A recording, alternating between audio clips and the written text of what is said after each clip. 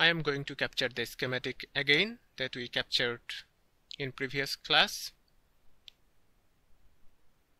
Go to File, New, Project, select schematic, select the folder where you want to save your file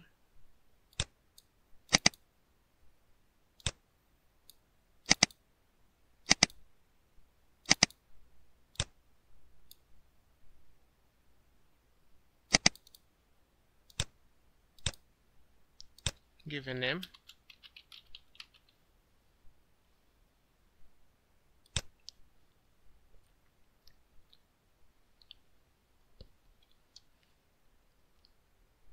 to find the components click place part icon.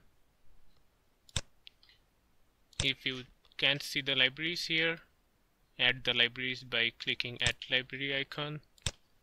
Select all the libraries. Open them and all the libraries are added. So select all the libraries. Find opamp. I'm looking for an opamp that has two parts per package. You can see number of parts per package here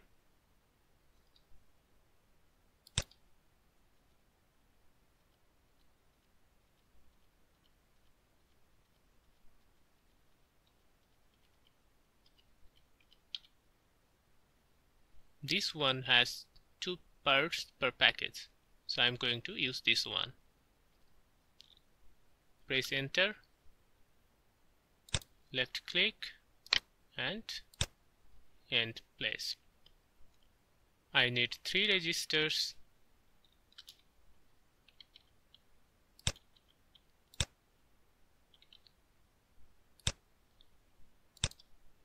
Two capacitors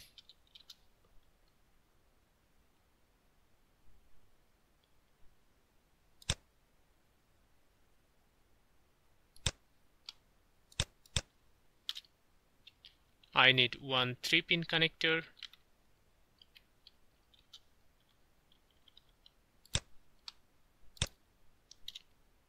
I need two 2 pin connectors.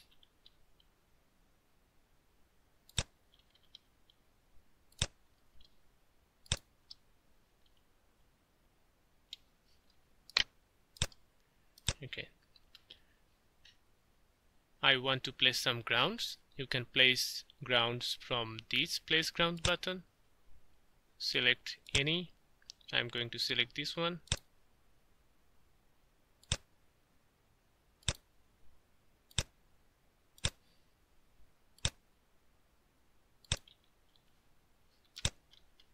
Okay. To connect the components press W. So your mouse pointer will be changed to like this crossed sign. To connect two pins select one pin and go towards the other pin. And left click. Select one pin go towards the other pin and click left mouse button.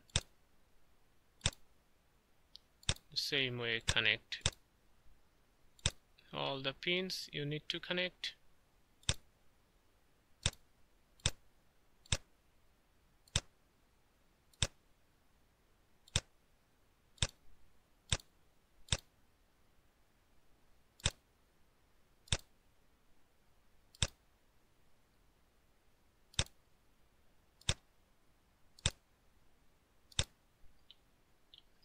Okay. Schematic is an art so try to make your schematic file as nice as possible as clean as possible. Now I am using this connector for my input power. I need one positive voltage and another negative voltage supply. So I need to connect this pin and this pin with this and this pin but I don't want to draw physical lines with these pins. In this circuit I can draw physical lines but in complex circuits it might be very difficult to draw each of the connections physically. So what we can do, we can use some ports. Ports can connect two points without having a physical connection. So if you give same name on two ports and connect them to two pins, they will be connected. To get a port, click this place port icon. Select any one of these.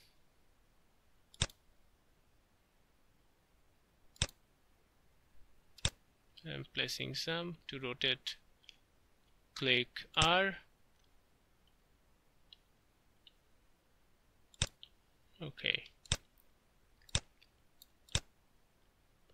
I am naming this port as V plus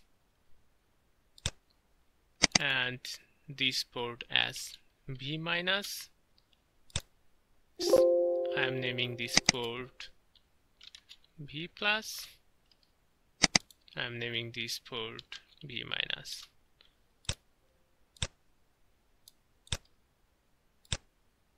So in our design file, this point and this point is representing a single node. Similarly, this port and this port is representing a single node. Let's connect them with the power pins of the op amp and connect these ports with the connectors. Okay. So our schematic capture is complete. In the next video, I will show you how to add the footprints in our schematic file. Thank you.